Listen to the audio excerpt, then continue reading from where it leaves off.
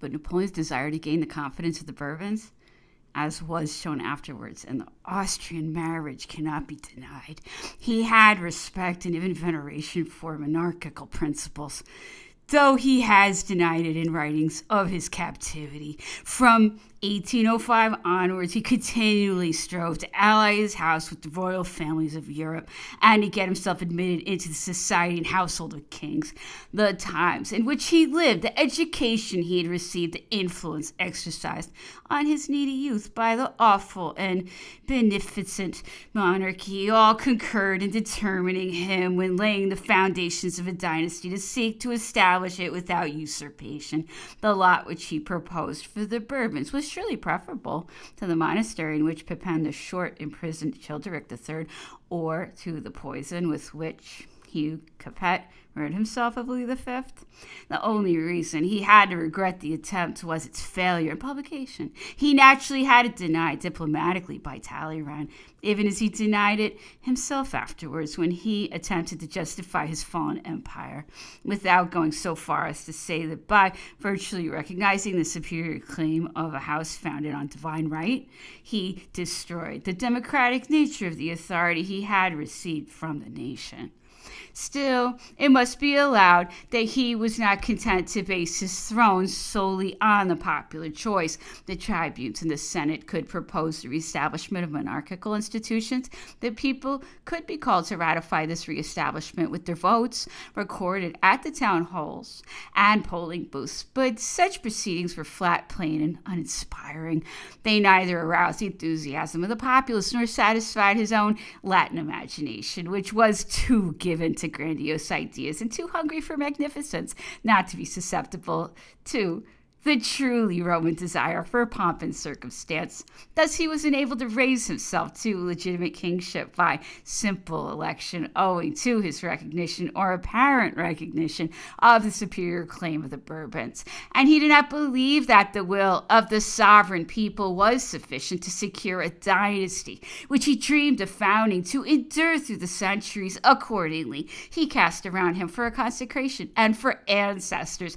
The latter were easier to obtain than the former, while secretly negotiating for the one. He busied himself in unearthing his long lost forebears. Napoleon did not indeed fall into the same absurdity as his brothers in their eagerness to discover their princely descent. Though unable to trace his own lineage to the Carlovingians, he yet restored the cult of Charlemagne and paid honor to his memory. He wished to be held the successor of him, who, by filling the world with his fame, by receiving the imperial crown, and reestablishing the empire of the West, had acted after Napoleon's own heart and proved himself worthy of commemoration. It is curious to know when he first entertained this idea, it could scarcely have been before the night of Floreal of the year 11, April 29, 1803, when it is first mentioned in a note to the Minister of the Interior. The minister is to drop a plan for for the erection of a statue of Charlemagne on the Place de la Concorde or on the place called Vendôme.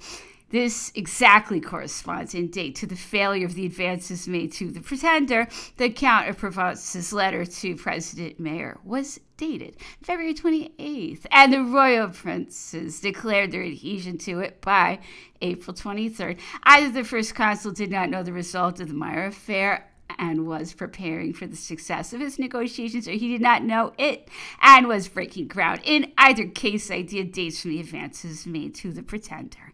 On the failure of these advances, Bonaparte relied more than ever on Charlemagne. This was proved by a solemn decree on the 8th of Vendemiaire of the year 12, October 1st, 1803. A column is to be erected in Paris in the middle of the Place Vendôme like that of Trajan. It is to be 2.73 meters in diameter and 20.78 in height. Trajan's column is 3.6 by 29.6 meters.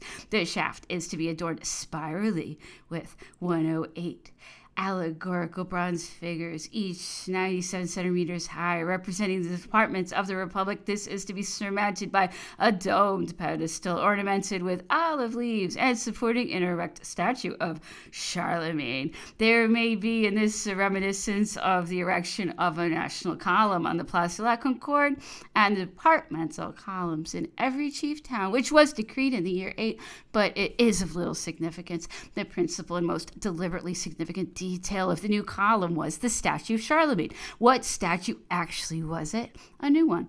Or the statue which had been brought from Ghent to Paris on the 12th of Vendémiaire. October 5th, four days after the decree, the Minister of the Interior refused to return the statue, which had been demanded by Kutkin, the mayor, to the city of Ghent. Since a use has been found for the statue, Charlemagne, he wrote, it is impossible to return it to Ghent. Or was it another bronze statue carried off to Paris in 1794 from the great fountain in the square before the town hall at Aix-la-Chapelle? And preserved in the National Library. The statue the minister refused at the same time to return to the people of Aix, whichever one it might have been. The intention was obvious and remarkable.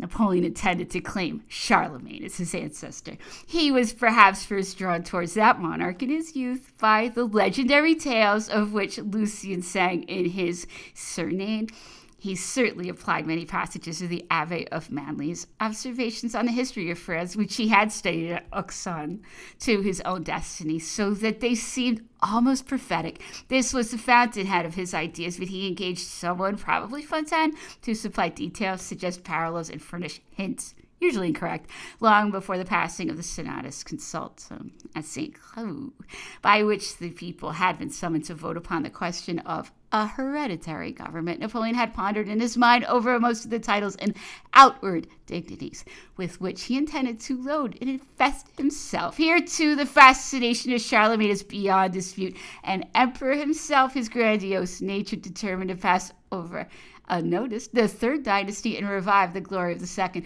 Louis XVI had been so often declared to be the last king of France, even by those who offered the crown to Napoleon, that he thought it inexpedient to gainsay it.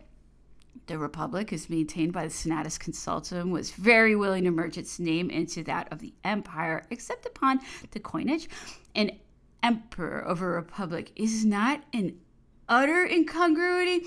By that appellation, he became the equal of the emperors of Germany and Russia, who would not themselves have taken the title king unless, indeed, essentially Carlovingian, but the titles bestowed upon the great dignitaries who surrounded the imperial throne were so, and Germanic to boot. From the beginning of his reign, Napoleon determined to bestow crowns after the manner of those borne by the electors. Thus, he created an arch chancellor of the empire, such as the elector of Mayence, and an arch chancellor of states, such as the elector of Treves was, and an arch treasurer and was also the elector of Mayence, but he preferred the purely French title of constable to that of high marshal, which might have offended the 12 peers of the new Charlemagne, who had been made marshals of the empire. He borrowed too from the ancient France the name of Grand Admiral, for the dignity was unknown in the German Empire. He dispensed with a high butler, high steward, and high chamberlain, for these titles implied personal service, and the holders of the great